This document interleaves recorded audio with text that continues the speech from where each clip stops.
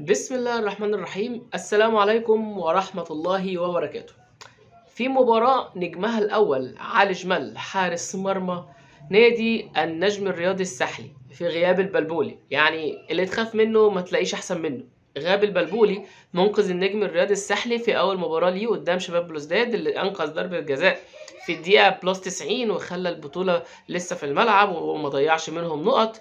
يظهر النهاردة بديله ويتألق وكأنه مانويل نوير كأنه ديفيد دخيا ك- كأنه لعيب أو كأنه حارس من الحراس العظماء. كان بيلعب الترجي في الشوط التاني تقريبا لوحده. وعشان الإثارة تكمل وعشان الإثارة تكمل النهاردة ولغاية من لحظات شباب لوزداد كان بي... كان بيلاعب أم، الفرقة بتاعت جالاكسي البوتسواني وكان متقدم 1-0 ثم في الدقيقة 82 بيتعادل الفريق البوتسواني ولكن خير الدين مرزوقي. بيسجل هدفه الثاني في اللقاء في الدقيقة 94 94 عشان يولع المجموعة تاني.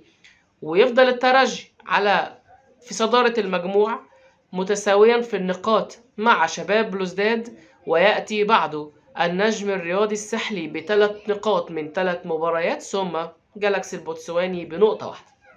معكم محمد عطيتو برنامج كابيتانو نتكلم معاكم عن مباراة الترجي. والنجم الرياضي الساحلي اعملي like و subscribe في القناة عشان تشوفوا الفيديوهات اللي بنتكلم فيها عن دوري أبطال أفريقيا أول بأول. وتعالوا أكلمكم عن تشكيلة راضي الجعايدي اللي ابتدى بيه اللقاء النهارده. اولا قبل ما ابتدي الكلام عن ال- التشكيل النهارده تزين ملعب رادس بجمهور الترجي تاني. والله بعودة يعني والله بعودة حرفيا. الم- الماتش شكله حلو شكله حلو وصوته حلو. و... و... والآهة اللي بتطلع مع كل كورة حلوة. الجمهور روح المدرجات. بن شريفية في حراسة المرمى على الشمال بن حميدة وعلى اليمين مشموم. اتنين في قلب الدفاع توجاي وهاني عمامو. قدامه في نص الملعب شعلالي وبن رمضان وعرفاوي وإيوالا وبوجرين ومهاجم الفريق هو كينجسلي إيدو. شوط أولاني نموذجي للنجم الرياضي الساحلي نموذجي للنجم الرياضي الساحلي تيجي تقول لي نموذجي ليه؟ أقول لك إنه إنه كان نازل عارف هو عايز إيه. إنه عايز إيه من المباراة دي أنا مش عايز يخسر. وده سيستمه مش بس في الشوط الأولاني لا ده في المباراة عموما. لكن ساعده في ده الشوط الأولاني لعيبة الترجي إن أنت تلاقي خط الدفاع بينه وبين خط النص فدان. مساحة تجري فيها وتعمل اللي أنت عايزه. ثم المسافة اللي بين خط الوسط وخط الهجوم. فدان أكبر من الفدان اللي ورا تعمل فيها اللي أنت عايزه كنجم رياضي ساحلي ده بيسهل على الخصم تماما تماما إنه يعمل اللي هو عايزه.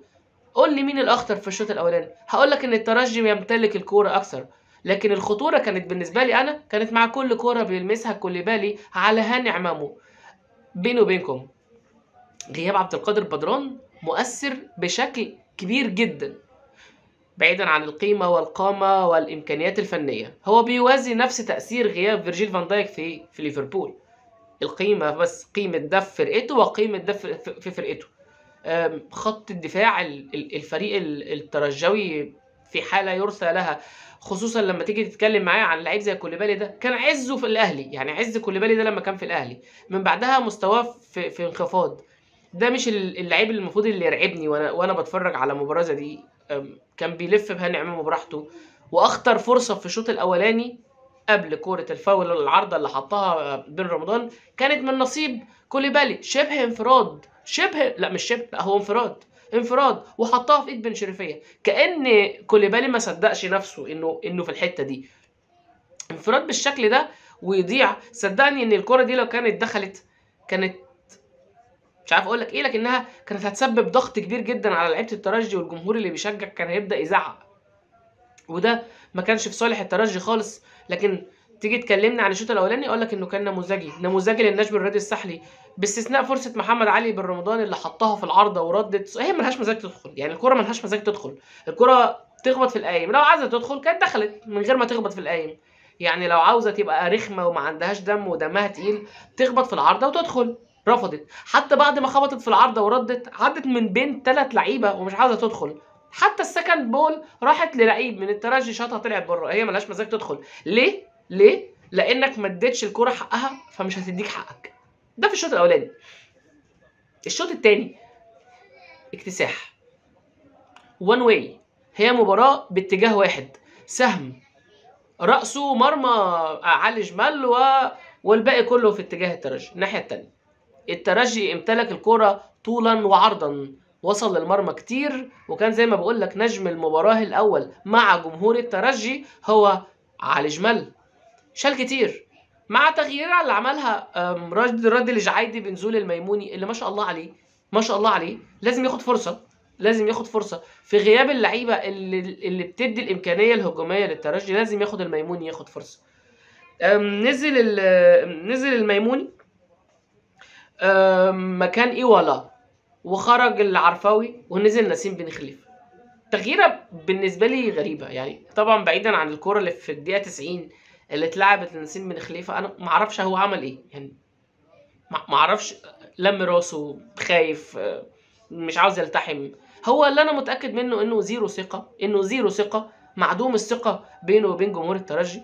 ولكن في حاجة عايز أقولها والله ما أعرفش جمهور الترجي أدرى مني بيها لكن طه ياسين الخنيسي بربع فورمته أحسن من من بن خليفة في ال top form يعني من ساعة ما من ساعة ما وصل الترجي. ده ده ده ده في وجهة نظري أنا.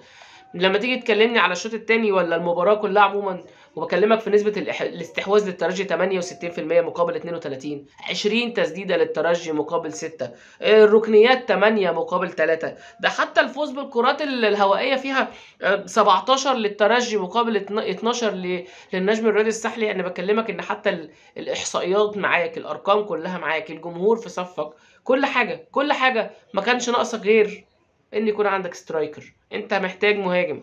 معضلة ومشكلة كبيرة جدا جدا جدا في فرقة الترجي. خلي بالك إن مشاكلك الهجومية هتظهر قدام هتظهر بشكل كبير. لما تلاعب فرق اللي عندها ال- ال- الهجوم بتاعها أتقل بكتير من كده.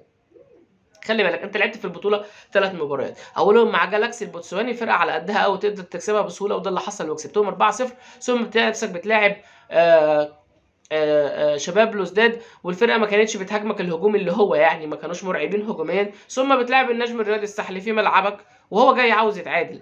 لكن انت بعد كده لما تيجي تلاقي نفسك بتلاعب الأهلي تلاقي نفسك بتلاعب سان داونز هتلاقي نفسك بتلاعب الوداد هتلاعب الرجاء فرق عندها حلول هجومية كتير. المشاكل اللي في خط ظهرك هتظهر اسمع كلامي. فبي فبأقصى سرعة اتصرفوا. ما- تتصرفوا تعملوا إيه مش عارف.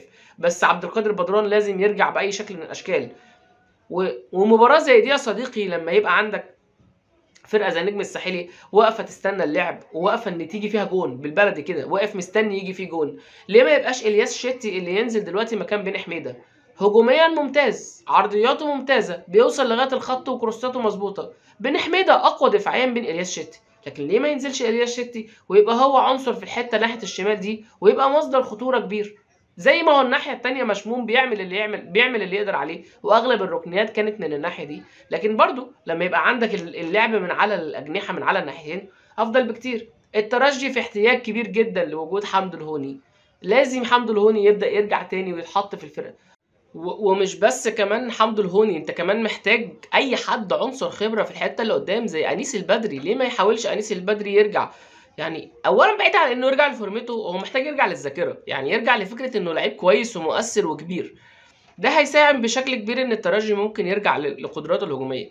لكن أنت برضو في الأول وفي الآخر يا جماعة الناس اللي بتتهم أم، راد الجعايدي بإنه ما عندوش طريقة لعب أو أو إن طريقة لعب الترجي معاه مش واضحة أو إن النتائج أو الأداء مذبذب إلى حد ما.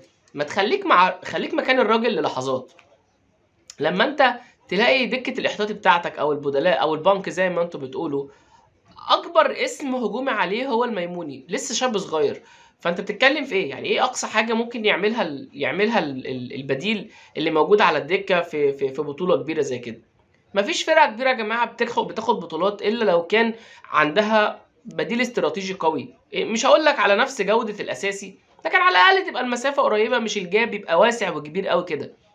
في الأول وفي الآخر المجموعة لسه في الملعب والترجي عنده المباراة اللي جاية قدام النجم الرياضي الساحلي برضو الكلاسيكو كبير وشباب لوزداد هيلاعب جالاكسي في في الجزائر. بنسبة كبيرة آه، جالاكسي هيكون مهزوم من شباب لوزداد ويصبح شباب لوزداد ساعتها 8 نقط 8 نقاط 8 نقاط. الترجي هيلاعب نجم الرياضي الساحلي خمسة خمس نقط ضد ثلاث نقط.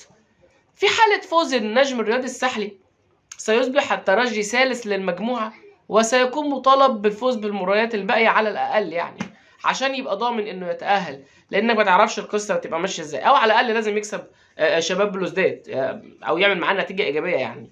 البطولة أو المجموعة دي اتكركبت و... وشدت. وأنا قايل الكلام ده من البداية قال إن البطولة دي أو المجموعة دي هتحسم في لقائها الأخير هتحسم في لقائها الأخير. إلى أن يأتي هذا الميعاد وإلى أن يأتي هذا الوقت كان معاكم محمد عطيتو وكنت بتكلم معاكم عن مباراة الترجي والنجم الرياضي السحلي اللي انتهت بالتعادل السلبي في في استاد حماد العجربي في حضور أخيرا جماهير الترجي اللي عادت بعد رفع العقوبة عنها وانتهائها و آه، كانوا منورين الملعب النهارده. وفي نفس الوقت كنت بتفرج على مباراة ال- شباب بلوزداد أمام جالاكسي اللي انتهت بفوز النجم ال- ال- الشباب بلوزداد بهدفين مقابل هدف وهدف الفوز تم تسجيله في الدقيقة 94 زي ما الكورة وقفت قدامهم ورفضت إنها تنصفهم في المباراة الافتتاحية قدام النجم الساحلي. بضربة جزاء في ال plus 90 الكرة أخيرا تنصفهم وتقف معاهم بهدف. في ال plus 90 قدام جالاكسي البوتسواني ويتصدروا المجموعة بالتساوي مع الترجي الرياضي التونسي اللي بخمس نقاط لكل منهم. لو وصلت لآخر الفيديو ما تنساش تكتب لي رأيك في الكومنتات. لو في أي حاجة أنا قلتها غلط أو أي معلومة أنا كتبتها أو قلتها بشكل غير صحيح تصلحوها لي وتكتبوا لي رأيكم في الكومنتات. ولو في حاجة عايزين نتكلم فيها في الفيديوهات اللي جاية هستناها منكم في الكومنتات. ما تنساش ال like وال subscribe في القناة. وسلام لو هتعمل share تبقى نورتني وشرفتني. كان معكم محمد عطيتو نورتوني شرفتوني. شوفوا اشوفكم على خير إن شاء الله في فيديوهات تانية جاية كتير. السلام عليكم.